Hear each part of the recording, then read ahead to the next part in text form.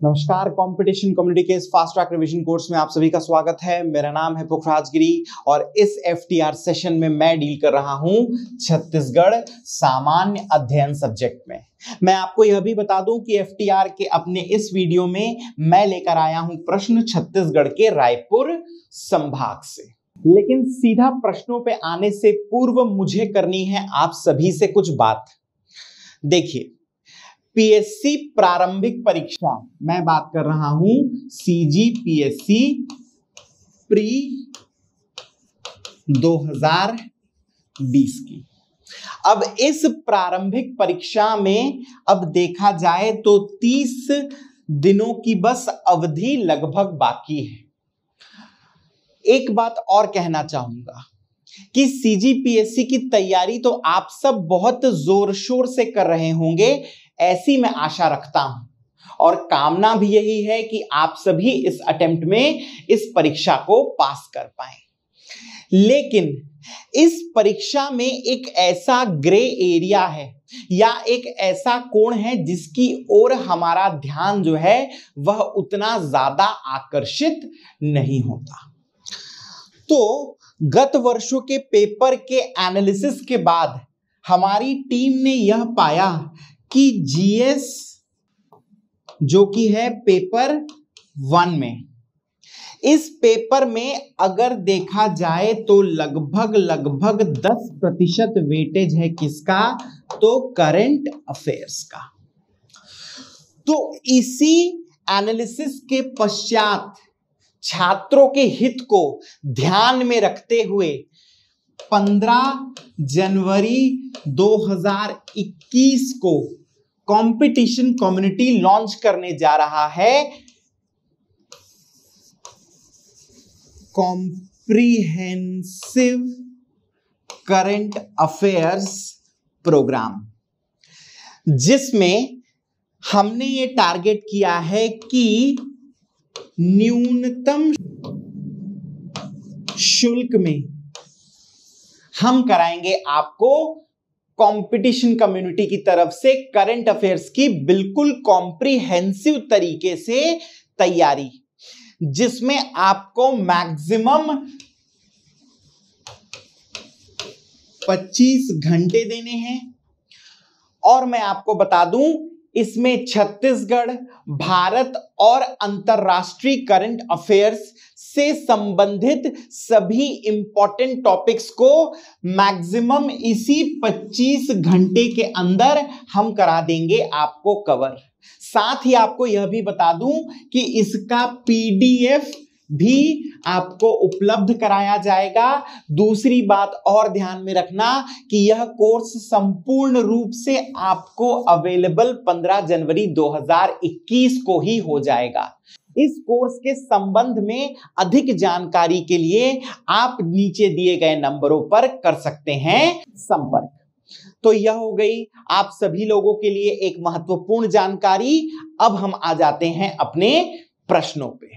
तो आज का पहला प्रश्न है, पुरातात्विक स्थल रीवा छत्तीसगढ़ के किस ज़िले में स्थित है? तो अपने इस वीडियो सीरीज़ में हमने ऑलरेडी छत्तीसगढ़ में बहुत से नवीन पुरातात्विक स्थलों को देखा है। उन्हीं में से एक है यह रीवा। तो देखिए, यह जो मैप है, यह दर्शा रहा है छत्तीसगढ़ के रायपुर संभाग को। और खासकर इस ज़िले की बात करूँ तो यह है हमारा रायपुर जिला। अब रायपुर ज़िले में कुछ तहसील हैं, उनमें से एक है रायपुर। इसके अलावा एक तहसील नाम है क्या? तो नाम है आरंग ऐसा नहीं कि सिर्फ़ दो ही तहसील है, तहसील और भी हैं। मैं बात कर रहा हूँ रायपुर और आरंग की। अब आप सभी जानते हैं कि एक नेशनल हाईवे जो कि जोड़ता है रायपुर को आरंग से कहलाता है एनएच त्रेपन या नेशनल हाईवे 53 और इसी एन एच फिफ्टी थ्री के उत्तर की ओर एक नवीन पुरातात्विक स्थल जिसका नाम है रीवा। क्या नाम है? रीवा।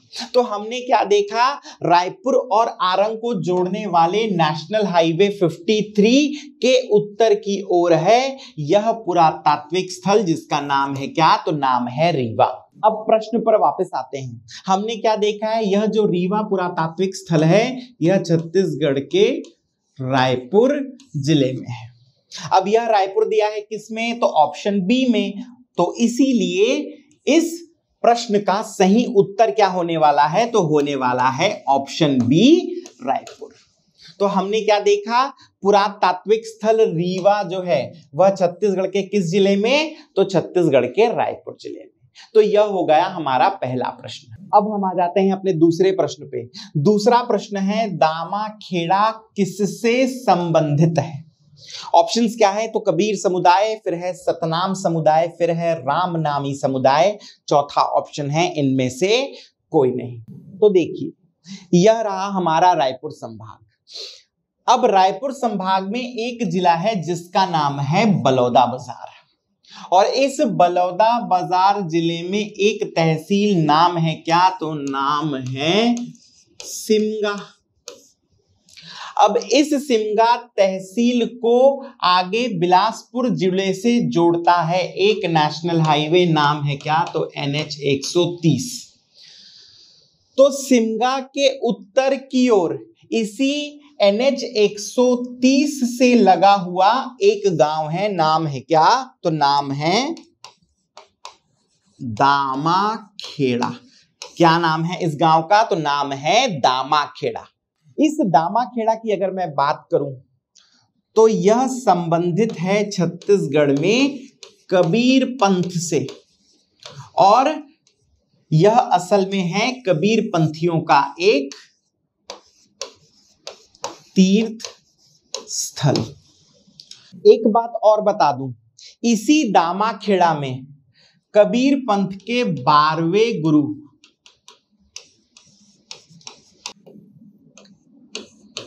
अग्र नाम साहिब। इन्हें अग्रदास साहिब के नाम से भी जाना जाता है। इन्होंने कबीर मठ की स्थापना की थी। किसकी स्थापना की थी? कबीर मठ की स्थापना की थी कहा? दामाखेड़ा में। इसके अलावा गुरु अग्रनाम साहेब की समाधि भी इसी दामाखेड़ा में है। तो हमने क्या देखा? दामाखेड़ा सबसे पहले कहा है? तो बलौदा बाज़ार ज़िले में है। उसके बाद देखा संबंध किससे है? तो कबीर पंथ से, फिर देखा बारहवें गुरु अग्रनाम साहेब जी ने क्या किया? यहाँ पर कबीर मठ की स्थापना की। अब आते हैं प्रश्न पर वापस। क्या दिया है? दामा खेड़ा किससे संबंधित है? तो हमने क्या देखा? दामा खेड़ा का संबंध किससे है? तो है कबीर पंथ से। और कबीर पंथ दिया है किसमें? तो दिया है ऑप्शन ए में, और इसीलिए ऑप्शन ए जो है, हमारे दूसरे प्रश्न का सही उत्तर होने वाला है। तो यह हो गया हमारा दूसरा प्रश्न। अब हम आ जाते हैं अपने तीसरे प्रश्न पे। तीसरा प्रश्न क्या है?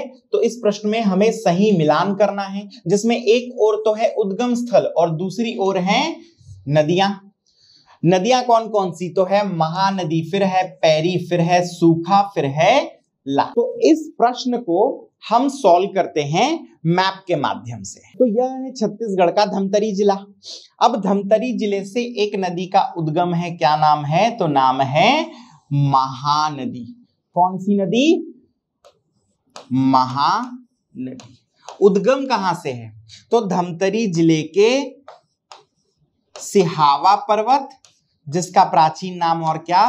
तो सुक्ति मती पर्वत। अब इसी महानदी की एक सहायक नदी है। नाम है क्या? तो नाम है पैरी नदी। कौन सी नदी? पैरी नदी। अब यह जो पैरी नदी है, इसका उद्गम कहाँ से है? तो इस गरियाबंद ज़िले से। और उद्गम स्थल का क्या नाम है? तो नाम है भाटीगढ़। क्या नाम है? तो भाटीगढ़, असल में यह पर्वत है तो भाटीगढ़ पर्वत। और महानदी और पैरी का संगम कहाँ पर? तो ध्यान रखना राजिम में। कहाँ पर संगम? तो राजिम में।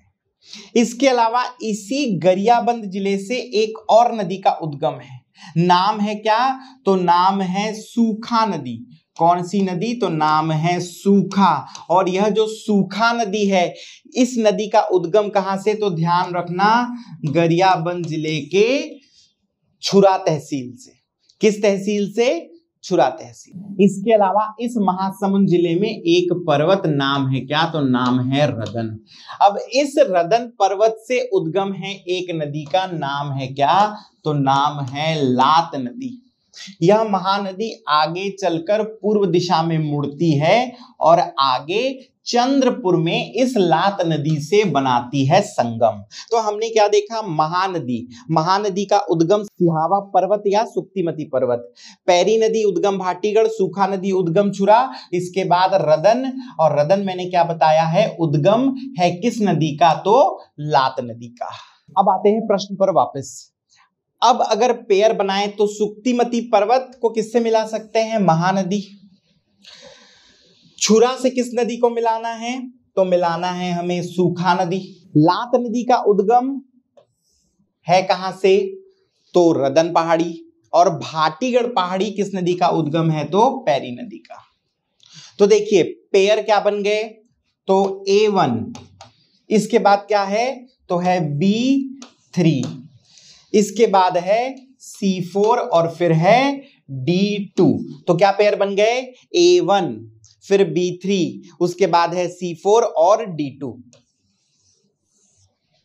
अब अगर इसका मिलान करें हम दिए हुए ऑप्शंस से तो देखिए ऑप्शन ए में ही दिया है A one B three C four और डी टू और इसीलिए यह जो ऑप्शन ए है, यह सही उत्तर होने वाला है हमारे तीसरे प्रश्न का। तो यह हो गया हमारा तीसरा प्रश्न और इसके बाद हम चलते हैं अपने चौथे प्रश्न। अब जो चौथा प्रश्न है, इस प्रश्न पे हमें क्या करना है? तो फिर से सही मिलान करना है। जहाँ एक और परियोजनाएँ हैं, वही दूसरी ओर हैं ज़िले। अब परियोजनाओं में देखिए, पहला है पेंड्रावन, उसके बाद है पंडित रविशंकर शुक्ल, फिर है सीकासार, उसके बाद है जोंक। तो इस प्रश्न को सॉल्व कर लेते हैं हम मैप के माध्यम से तो ध्यान रखना, इस रायपुर ज़िले में एक परियोजना है, क्या नाम है? तो नाम है पेंड्रा वन। इस परियोजना को ध्यान में रखना, यह है किस पे? तो कोल्हान नाले पे। किस नाले पे? तो कोल्हान नाले पे। एक बात और बता दूँ, इसी परियोजना का नाम रखा गया है लखनलाल मिश्र के नाम पे। पंडित लखनलाल मिश्र नाम है इस पेंड्रावन परियोजना का। अब इस रायपुर संभाग में एक जिला है, नाम धमतरी। धमतरी पर महानदी पर एक परियोजना नाम है, क्या तो नाम है पंडित रवि शंकर शुक्ल परियोजना। ठीक है, इसके बाँध को हम गंगरेल बाँध के नाम से भी जानते हैं। इसके बाद है हमारा गरियाबंद जिला। इस गरियाबंद ज़िले में पैरी नदी पर बाँध है, नाम है क्या? तो है सीका सार। और ध्यान रखना, इस बलौदा बाज़ार ज़िले में एक परियोजना है, जोक परियोजना। कौन सी परियोजना? जोंक परियोजना। जोंक डाइवर्शन आ जाए तो ध्यान रखना, जोंक डाइवर्शन महासमुंद में है। जोंक परियोजना जो है, वह बलौदा बाज़ार में है। तो अब वापस आ जाते हैं किस पे? तो प्रश्न पे। तो देखिए, पेंड्रावन मैंने बताया कहाँ है? तो रायपुर में। पंडित रविशंकर शुक्ल परियोजना हमने देख लिया, धमतरी में है सीका सार है, गरियाबंद में और जोक है कहा? तो बलौदा बाज़ार। अब पेयरिंग कर ले तो क्या आ गया? तो आ गया ए टू फिर है बी वन उसके बाद है सी थ्री और उसके बाद है डी फोर तो A two B one C three और डी फोर अगर ऑप्शन से मिलान करें तो देखिए ऑप्शन नंबर बी में ही दिया है A two B one C three और डी फोर और इसीलिए ऑप्शन बी जो है, वह हमारे चौथे प्रश्न का सही उत्तर है। तो यह हो गया हमारा चौथा प्रश्न। इसके बाद हम आ जाते हैं अपने पाँचवें प्रश्न पे। निम्न में से कौन सा कथन सही है? पहला कथन है, सिरपुर महानदी के तट पर स्थित है। दूसरा कथन है, सिरपुर का लक्ष्मण मंदिर वास्तव में भगवान विष्णु का मंदिर है। तीसरा कथन है, सिरपुर का प्राचीन नाम चित्रांगपुर था। और चौथा कथन है, यह महाशिवगुप्त बालर्जुन की राजधानी थी। तो यह जो है, यह है छत्तीसगढ़ का महासमुंद जिला। अब इस ज़िले में इसके अलावा मैंने एक नदी भी बताई थी। इस संभाग में नाम क्या था? तो महानदी धमतरी से निकलती है और यह जो नदी है, कहलाती है छत्तीसगढ़ की जीवन रेखा। और इस महानदी के तट पर, इस महासमुंद ज़िले में एक प्राचीन पुरातात्विक स्थल नाम है क्या? तो नाम है सिरपुर। क्या नाम है? तो नाम है सिरपुर। अच्छा अब सिरपुर के संदर्भ में बता दूँ, सबसे पहले तो आप जान गए कि यह महानदी के तट पर है। दूसरी बात बता दूँ, इसका प्राचीन नाम क्या था? तो नाम था चित्रांद। तो क्यों था ऐसा नाम? तो असल में यह राजधानी थी भब्रू वाहन। और भब्रुवाहन की माँ का नाम था चित्रांगदा, पिता का नाम था अर्जुन। तो अर्जुन और चित्रांगदा के पुत्र भब्रुवाहन की राजधानी नाम क्या था? तो चित्रांगपुर इसके अलावा बता दूँ कि छत्तीसगढ़ का एक वंश नाम है क्या? तो पांडु वंश। और इस पांडु वंश में एक बहुत फ़ेमस राजा, क्या नाम?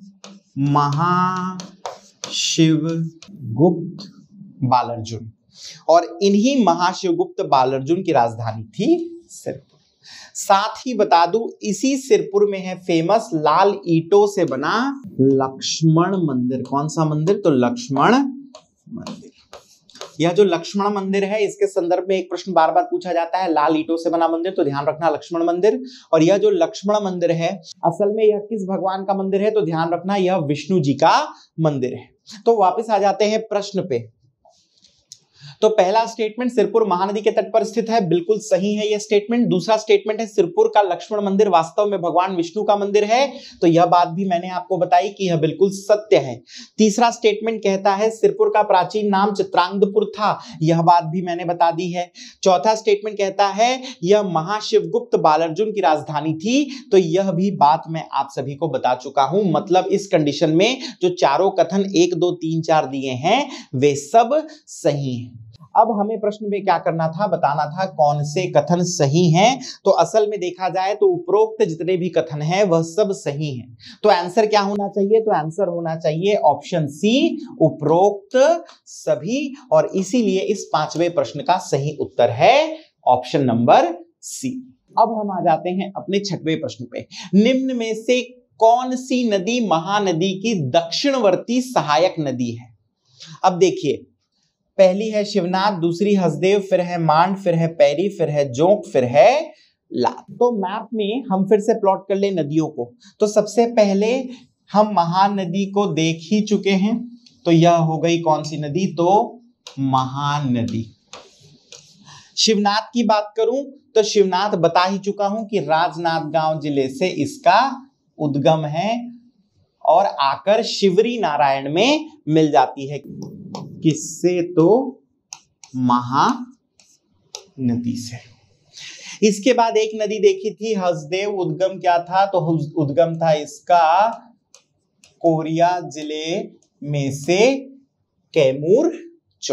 इसके बाद एक और नदी देखी थी, मांड। मांड नदी जो है, उद्गम क्या था? तो गढ़, पहाड़, मैन पाट, यह था उद्गम मांड नदी का। अब अगर बात करूँ पैरी नदी की तो अभी अभी देखा है हमने कि यह जो पैरी नदी है, इस पैरी नदी का उद्गम कहाँ से? तो भाटीगढ़।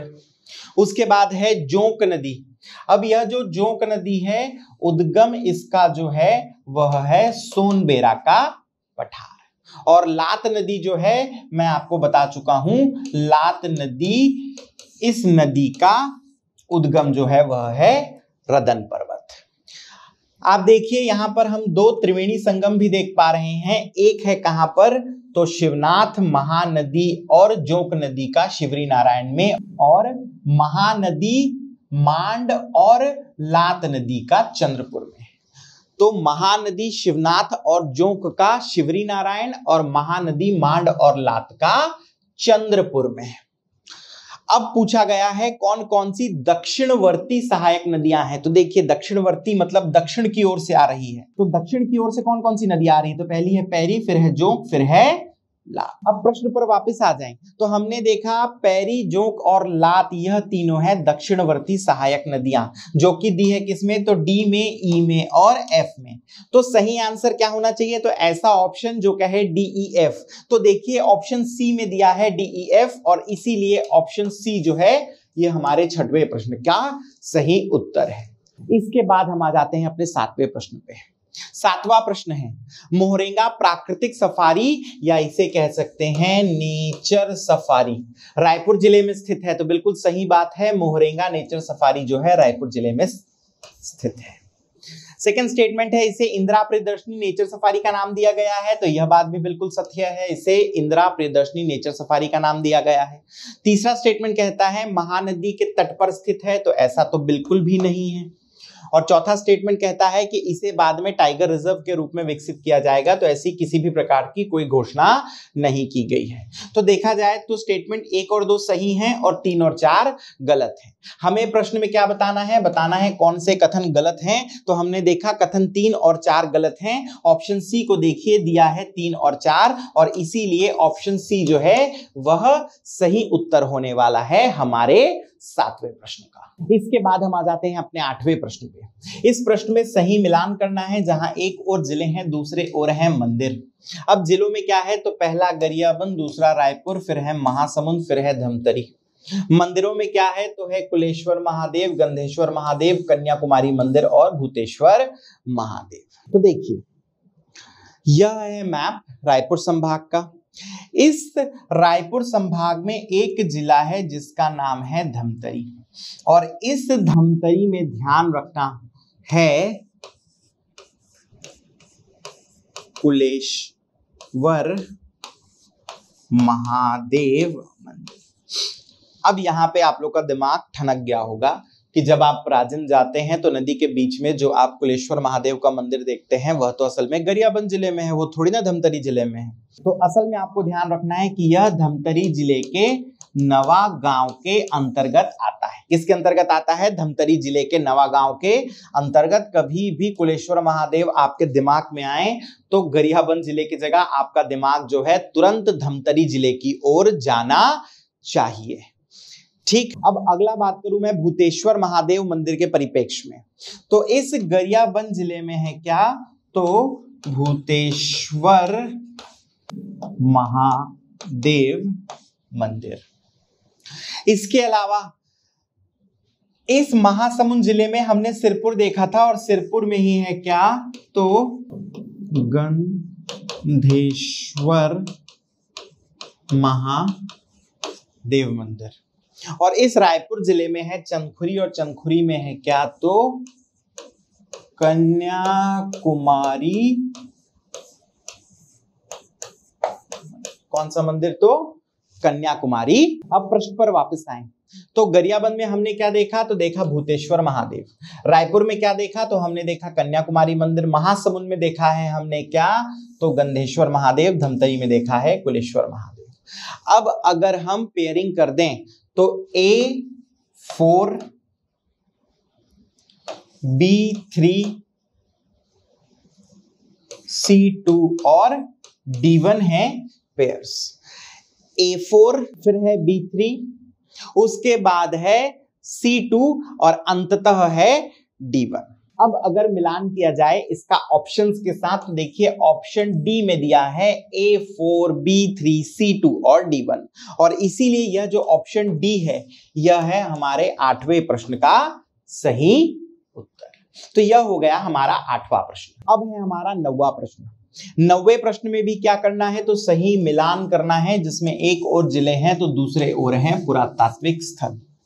अब देखिए ज़िले हैं बलौदा बाज़ार, रायपुर, महासमुंद और धमतरी। पुरातात्विक स्थल है क्या? तो रीवा है, सिरपुर है सिस देवरी है और लीलर है। अब अगर हम आ जाए वापस मैप पे तो रायपुर में हम रीवा देख ही चुके हैं और महासमुंद ज़िले में हम सिरपुर देख ही चुके हैं। इसके अलावा ध्यान रखना, इस धमतरी ज़िले में महानदी के तट के बहुत नज़दीक है एक पुरातात्विक स्थल जिसका नाम है क्या? तो लीलर। और इस बलौदा बाज़ार ज़िले के पलारी विकासखंड में है सिस देवरी, जो कि फिर से एक पुरातात्विक स्थल है। तो हमने क्या देखा? रीवा, रायपुर में लीलर धमतरी में, सिरपुर महासमुंद ज़िले में है और सिस देवरी जो है वह बलौदा बाज़ार ज़िले में। अब अगर आ जाए वापस प्रश्न पे तो बलौदा बाज़ार से मिला सकते हैं सिस देवरी को, रायपुर से लीलर को, महासमुंद से सिरपुर और धमतरी से लीलर को। अब देखिए पेयर्स क्या बन गए? तो ए थ्री इसके अलावा है बी वन फिर है सी टू और है डी फोर ठीक है तो हमने क्या देख लिया? A three B one C two और डी फोर जो है, वह है सही पेयर अब अगर ऑप्शन को देखें तो ऑप्शन सी में ही दिया है A three B one C two और डी फोर और इसीलिए ऑप्शन सी जो है, वह सही उत्तर होने वाला है हमारे इस नवे प्रश्न का। अब अंततः है हमारा दसवां प्रश्न, जिसमें एक और ज़िले हैं और दूसरे ओर है वन्यजीव अभ्यारण्य। जिलों में देखिए क्या है तो सूरजपुर, फिर है गरियाबंद, फिर है महासमुंद, फिर है धमतरी। वन्य जीव अभ्यारणों में है, तमोर, पिंगला फिर है, उदंती फिर है बार नवापारा उसके बाद है सीता नदी। अब अगर मिलान किया जाए तो इस वीडियो सीरीज़ में कई बार हम डिस्कस कर चुके हैं कि सूरजपुर जो है, उसी ज़िले में है तमोर, पिंगला वन्यजीव अभ्यारण और आपको बता दूँ, धमतरी में भी हम देख चुके हैं सीता नदी वन्यजीव अभ्यारण को। ध्यान में रखना है कि गरियाबंद ज़िले में है उदंती वन्यजीव अभ्यारण और महासमुंद ज़िले में है बारनवापारा। देखिए, बारनवापारा आपको बहुत जगह बलौदा बाज़ार जिला भी देखने को मिलेगा। पीएससी ऑलरेडी महासमुंद आंसर ले चुका है, इसलिए मैं आपको महासमुंद बता रहा हूँ। ठीक है? तो सूरजपुर, तमोर, पिंगला, गरियाबंद, उदंती, महासमुंद बार नवापारा और धमतरी आपको लेना है सीता नदी वन्यजीव अभ्यारण के परिपेक्ष में। अब पेयरिंग कर दे तो क्या बन गया? A one B two C three और डी फोर अब अगर इसका मिलान करें ऑप्शंस में तो देखिए ऑप्शन ए में ही दिया है A one B two C three और डी फोर और इसीलिए ऑप्शन ए जो है, वह आपके दसवें प्रश्न का सही उत्तर। तो यह थे छत्तीसगढ़ के रायपुर संभाग से दस कुछ अच्छे और कंसेप्चुअल प्रश्न। आप सभी से मेरी मुलाकात होगी मेरे आने वाले वीडियोस में, जिसमें मैं आपके लिए लेके आने वाला हूँ बस्तर संभाग। तो आई होप मेरा ये वीडियो आप सभी को पसंद आया होगा और आप सभी से मुलाकात होगी मेरे आने वाले वीडियोस में। तब तक के लिए thank you and take care